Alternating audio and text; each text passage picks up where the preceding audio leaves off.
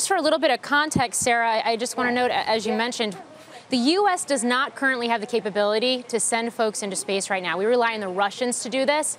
So this program and the astronauts we're now sitting down to speak to represent the first time we're able to do this starting next year. That's when the target dates are. Um, since 2011. So thank you so much for joining us today and congratulations uh, on the news that you will be the first. I, want to start with you, Chris Ferguson, because not only were you the last space shuttle commander, commander back in 2011, you worked for Boeing. Uh, you've been very closely involved in developing Boeing's Starliner spacecraft uh, for their part of the program. Did you ever think that you'd be going back to space on a commercial mission as the first ever private citizen? Hey, thanks, Morgan. Uh, well, I'll tell you, when we finished up the shuttle program about seven years ago, uh, I thought my flying in space days were certainly over. Uh, of course, uh, Boeing brought me into their fold shortly after that and, uh, and interested me in, in uh, developing our, our next way to low Earth orbit. So ever since then, I've been a part of the team, and now it's come full circle and have an opportunity to fly it. Really excited about it, Brendan. Thank, Morgan, thank you. And I, I, think, Chris, one of the key things here is that in the past, the rockets have always been developed and operated by NASA, owned by NASA. Now it's being done by Boeing and SpaceX. It's the private sector. It's a very interesting twist, uh, and I believe it's important that uh, that we convey that um, we're now providing a commercial service to low Earth orbit. That, of course, uh, our flagship customer is NASA, uh, but that if we build it, will they come? Where uh, will other customers come from other places, perhaps space tourism, perhaps other countries that are interested in space programs of their own?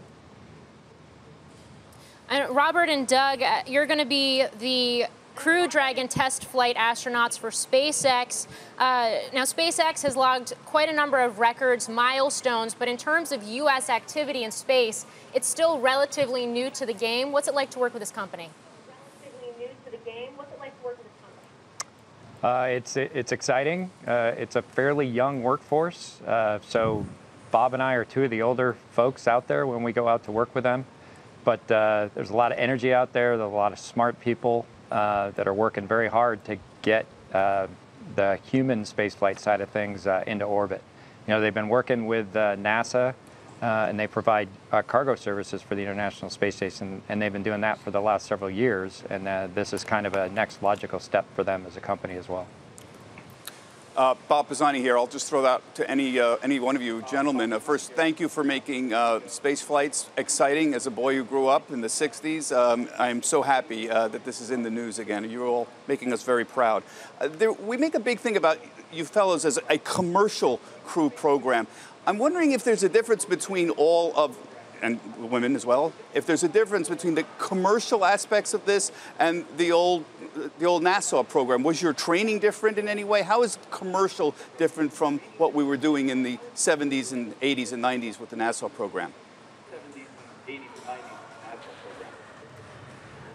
I think I would say that uh, kind of the big difference that we've seen, Bob, and great name by the way, uh, that we've seen is that we really are leveraging technology that's used for our kind of commercial applications, the launch of satellites in SpaceX's case, making some minor modifications to hopefully imp improve the reliability of their vehicle, and then that reliable vehicle then they'll continue to use on the commercial side. And so that's that's the probably the biggest piece for me is that it's not like the space shuttle where every piece, the external tank, the solid rocket boosters, the shuttle itself, were all NASA unique hardware for a NASA unique mission. We're, we're able to leverage quite a bit of technology from the commercial sector, uh, and that makes a big difference in terms of being able to fly often enough to have confidence in the reliability that we should expect. Now, we're going to put up a picture on our screen. It's going to be of the American flag that was affixed to the International Space Station back in 2011 uh, on that last space shuttle mission that, uh, Chris, I, I know you were on. I think the whole idea here, legend has it that that's going to be retrieved by the astronaut that goes up again in a U.S. made vehicle, which, as we know from this program, is expected to be next year. Which one of you is going to capture the flag? That's a great question, Morgan. Of course, Doug Hurley uh, on the other end, he and I flew together on STS uh, 135.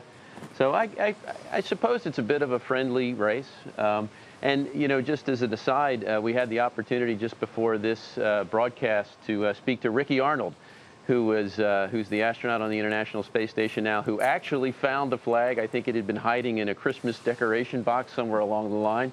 Uh, but uh, hey, whoever gets there, we're going to do it safely, and we're going to bring it home and make America proud. Well, thank you so much for taking the time today. I want to say to all of you, thank you for your service to this country, and good luck as you train and get ready for your missions. The new astronauts of the NASA Commercial Crew Program.